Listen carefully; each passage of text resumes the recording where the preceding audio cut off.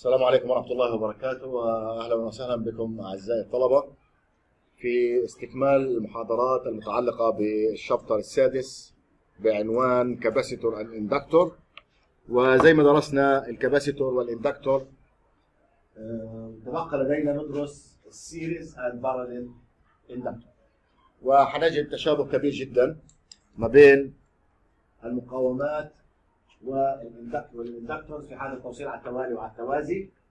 آه، طبعا ال inductor زي ما قلت لك بتيجي اشكال وأنواع مختلفة. في النهاية هي two terminal طرفين. وإذا كانت أسطوانية تسمى solenoid إذا كانت حلقية فيش ولا واحدة حلقية هنا تسمى toroid وممكن عدد اللفات يكون آه، متضاعف حتى تزيد ال induction تبعك. بالنسبة للتوصيل على التوالي وعلى التوازي تبقى القاعدة الأساسية واحدة لا تتغير وهو أن لما بتوصل inductors على التوالي فإن التيار اللي بيكون فيهم هو التيار واحد بتغيرش وتتوزع قيم الجهد حسب كل induction موجود في الدائرة الكهربية وبتكون المقاومة المكافئة حاصل مجموعهم كلهم على التوالي. إذا قيمة ال induction بالهنري زائد قيمة ال induction بالهنري تعطي لك القيمة المكافئة. وبنعرف ال equivalent inductor of series connected inductor is the sum of the individual inductors. تماما نفس القاعدة اللي اتطبقت على مين؟ على المقاومات. عندما ننتقل إلى التوصيل على التوازي فطبعا لاحظ انه ال two terminals الآن تجمعهم two nodes. إيش ال node؟ ال node الأولى A وال node الثانية B فبالتالي هذول كلهم على إيش؟ على التوازي. في حاله التوصيل على التوازي إيش القاسم المشترك؟ اللي هو فرق الجهد ويتوزع التيار التيار الكلي بيسموه على I 1 و I 2 و I 3 وفي النهاية لما بتحسب انت المقاومة المكافئة أو ال induction المكافئ التوصيل على التوازي هو 1 على L بيساوي 1 على L 1 زائد 1 على 2 زائد 1 على L N وحالة خاصة لما يكون عندك 2 induction فالمقاومه المكافئه بيساوي حاصل ضربهم على مجموع. لذلك the equivalent induction inductance of the parallel inductor is the reciprocal of the sum of the reciprocal of the individual inductor. يعني المقلوب لحاصل مقلوب مجموع المقاومات الأخرى أو الاندكشن الأخرى اللي عم اوصلها على على التوازي. اذا بدناش ندخل كثير في هذا الموضوع جمع زيه زي المقاومات واحد على المقاومة المكافئة زيه زي واحد على الإندكشن المكافئ لمين؟ لحالة ال induction. خلينا نلخص الآن كل ما تعلمناه من معلومات وعلاقات جمعت ما بين ال resistor وال capacitor وال inductor. هنا بدي أقارن من ناحية علاقة ال voltage مع التيار يعني إذا أنا أعطيتك التيار قديش قيمة ال voltage وما لو أعطيتك ال voltage قديش التيار ال power أو الشغل ال series وال parallel وكيف يكون الوضع في حالة ال DC نطلع لي على العمود الأول. علاقة الجهد مع التيار V بيساوي I في R وعلاقة التيار مع الجهد إنه V على R أما بالنسبة لل capacitor فعلاقة الجهد مع التيار إنه الجهد يساوي تكامل التيار على C أو التيار بيساوي تفاضل الجهد على مين؟ مضروب في C تنعكس الآية بالنسبة لمين؟ لل inductor. الجهد بيساوي تفاضل التيار بالنسبة T في L والتيار بيساوي تكامل الجهد على L هذه الأشياء بديش اياك تغلط فيهم لأنه بتلخبطوا. لما تيجي توصل للامتحان النهائي المعلومات كلها حتتدفق لديك مرة واحدة. بدك تعرف تفصل بينهم. بالنسبة لل power P بتساوي I تربيع في R بتساوي V تربيع على R أو تساوي بالنسبة لل capacitor نص C في T نص C في V تربيع أو بتساوي نص L I تربيع. أما بالنسبة للمقاومات على التوازي على التوالي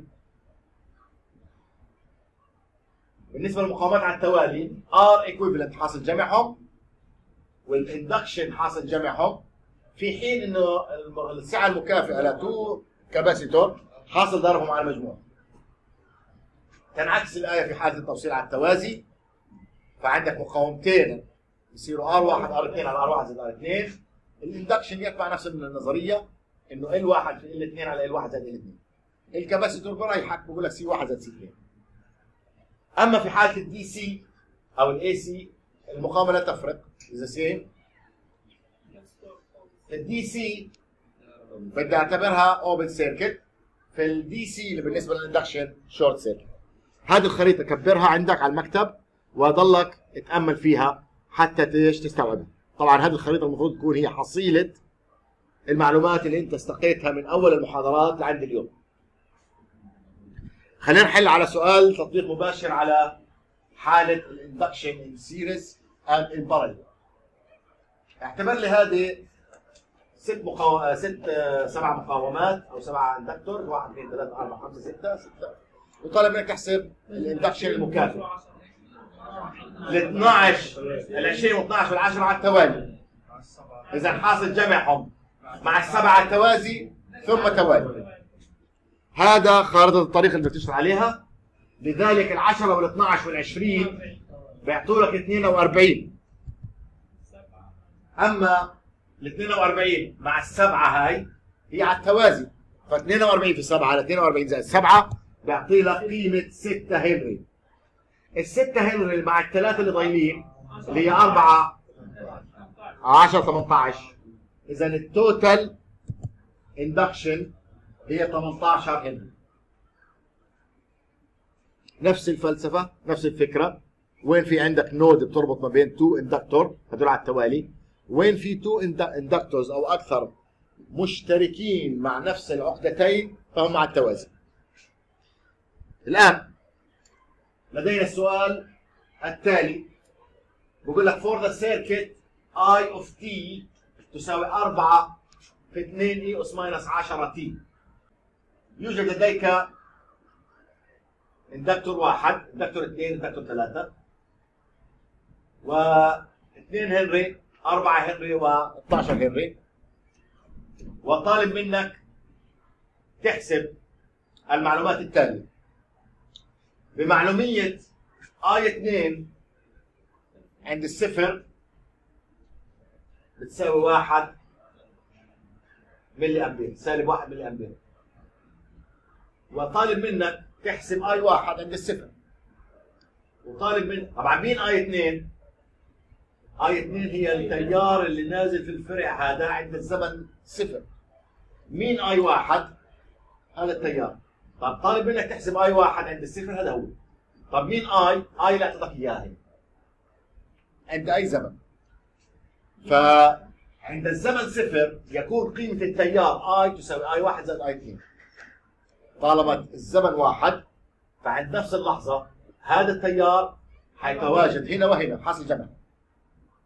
إذا أوجد I واحد ثم بعد ذلك V T V T اللي هي هذه قيمة الجهد الكلي قيمة الجهد على ال inductor الأول والثاني قيمة التيار اللي مارر في الدائرة قيمة التيار I واحد اللي مارر في الأربعة هنري وقيمة التيار اللي مارر في مين؟ في ال 12 هنري عند أي زمن.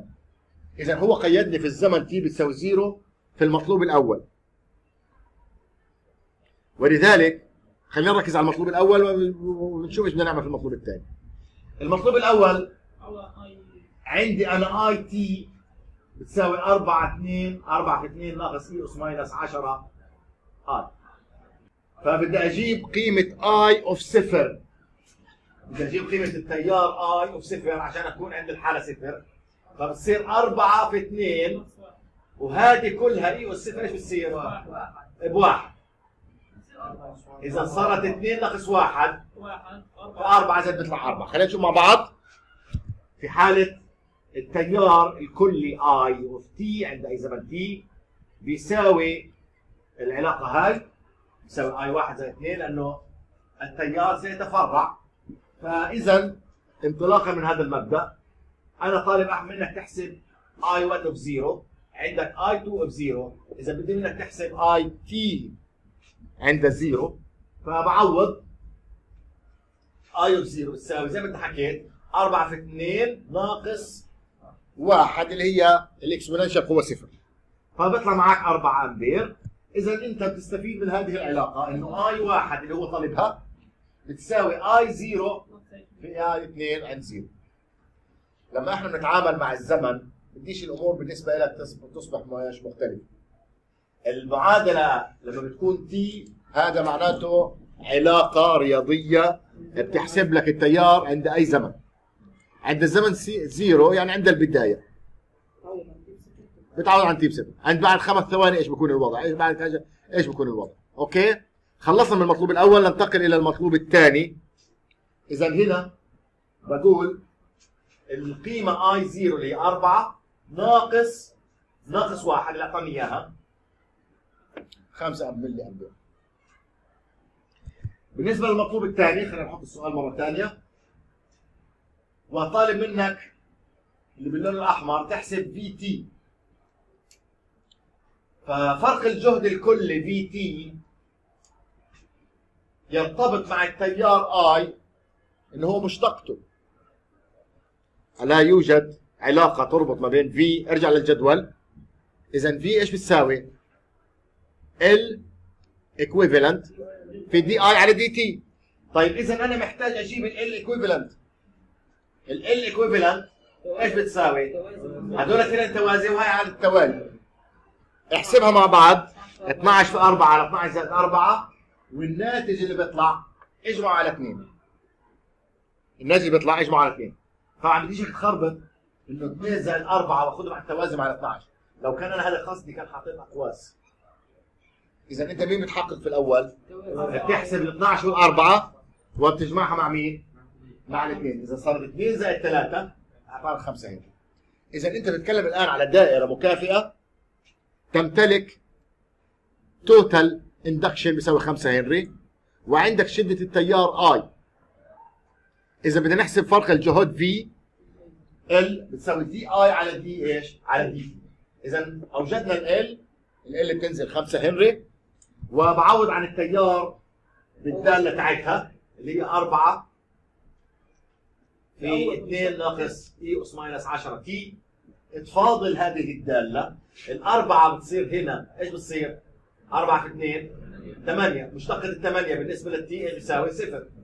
أما بالنسبة لك عندك الأربعة e أس minus 10 وفي عندك هنا كمان minus ال اللي هي الخمسة. إذا صارت خمسة في أربعة في مشتقة هذا الكلام. عندك ناقص الأولى وe أس mi- e أس minus 10 t بتضلها e أس minus 10 t وفي عندك minus بتنزل في الأول. أنت في الآخر بتجمع الكلام هذا كله بيطلع معك 200 في e أس minus 10 t أوكي؟ ووحدتها بالملي فولت هذا بالنسبة لمين؟ للدالة تاعت الجهد. بالنسبة لمين؟ بالنسبة للدالة تبعتها الآن احسب لي v واحد واحسب لي v اثنين. طيب v واحد هيها اللي على هنا وv اثنين هي فرق الجهد على مين؟ على هدول صح ولا لا؟ طيب انت الآن عشان تحسب v واحد إيش بلزمك؟ v واحد هي فرق الجهد على الهنري 2 هنري ليست v واحد هي على المقا على ال inductor اللي بمر فيه التيار i واحد فالآن قيمة v واحد هي نفس المعادلة هاي إيش بتساوي؟ L في واحد في التيار اللي بمر فيها مين هو؟ di على dt مضبوط ولا لا؟ إذا كل ما هنالك بعيد تفاضل المعادلة ولكن بدل الار بدل ما اضرب في خمسة حضرب في مين؟ إذا صارت 2 دي اي على دي تي ففي الحالة هذه تعطي لك اللي 2 في ناقص 4 في ناقص 10 يو اس ماينس 10 تي في تطلع الإجابة 180 اي اس ماينس 10 تي هدول ال 80 حصة مين؟ الاثنين هنري هدول التنين على التوازي وبالتالي حياخذوا الباقي من في 1 من في ناقص في 1 إذا أنت حتطرح 200 ناقص 100 ناقص 80 هذا حيتبقى لديك إيش؟ حيتبقى لديك الفي ناقص إيش؟ لأنه هنا الجهد حيتوزع على هذا وهذول هذا أخذ حصته 80 قديش تبقى؟ من ال 200 تبقى 120 كأنك بتتعامل مع أرقام عادية إذا بتصير عندك 120 e أس minus 10 t. الرسمة هي هي ولكن الآن طالب منك تحسب i واحد وi اثنين. فكيف بدك تحسب شدة التيار i واحد؟ عندك عدة طرق هنا. عندك ال induction وعندك الجهد. مظبوط ولا لا؟ فمجرد ما إنك أنت تيجي تعوض إنه I 1 بتساوي واحد على L تكامل V 2 dt لأنه أنا بتكلم على مين؟ على اللي هو التيار I واحد اللي بمر هنا فعبارة عن واحد على أربعة تكامل فرق الجهد قديش فرق الجهد؟ I of واحد عند ال zero قديش قيمتها؟ هذه هذه جبتها في المطلوب الأول خلصنا من هذه أربعة إذا ضل عندي أكامل أكامل 120 بتطلع عن التكامل e أس minus 10 t تكاملها. e أس. e أس سالب 10 t على مين؟ على سالب 10 ف صارت سالب 40 120 على 40 صارت سالب 3 e أس minus 10 t وزائد قيمة اللي هو I 1 of 0 اللي هي 5 ملي أمبير. اذا صار عندك صار عندك إيش؟ صار عندك قيمة الدالة هذه اللي هي 3 e أس minus 3 مرة بعوض ب t ومرة بعوض بصفر لما بعوض بصفر بصير عندك ناقص ناقص 3 فصارت زائد 3 لأنه الصفر لما بتخش مكان ال t بصير e والصفر بواحد. واضحة الفكرة؟ okay. اذا الجزء الأول هذا من وين اجى يا شباب؟ هذا الجزء الأول لما عوضت عن 3 e أس minus 10 t بال t لما عوضت بالصفر لأنه لما كامل من صفر إلى t ف e أس minus 10 صفر بواحد. وعندك سالب وفي سالب الأول لأنك سالب الجزء الثاني. زائد 5 ملي أمبير. إذا بتطلع معك الإجابة هي عبارة عن 8 ناقص 3 e أس minus 10 t ملي أمبير. هيك أنت بتكون حسبت مين؟ حسبت قيمه التيار I واحد اللي مر في الفرع طيب بدك تحسب التيار I 2 معك طريقتين. انت عندك التيار I عند الزمن t بتطرحه من التيار الثاني بيطلع التيار إيش؟ الثاني. آسف. عندك التيار الكلي بتطرحه من التيار الأول بيطلع التيار الثاني. أو تستخدم نفس العلاقة. أنت حر. أنت صرت متعود على هذه العلاقة لكن حتتأكد إنه نفس الإجابة. 1 على 12 في بي 2 اي دي اي دي تي زائد إيش؟ اي 2 0 اي 2 0 قديش أعطاك إياها؟ سالب واحد. ريحني. لذلك لذلك تكامل اي اس ماينس 10 هي نفسها ولكن على ناقص 10 إذا صارت عندك 120 على 120 بواحد واشاره السالب ضلت زي ما هي. مرة مع t ومرة مع مين؟ مع zero. زي ما انت تعودت مع ال t بتضلها زي ما هي. زائد واحد ناقص واحد. اذا هدول بضيعوا بعض. بتضل معك الإجابة سالب e أس minus 10 t اللي هي ملي أمبير. هذا قيمة التيار لكل فرع في أي زمن من الأزمنة اللي أنت بدك إياها. حاترك لكم المجموعة هاي من المسائل التي تأتي ضمن الأمثلة والتمارين اللي حليناها اليوم. توالي وتوازي. توالي وتوازي. وهنا توالي وتوازي.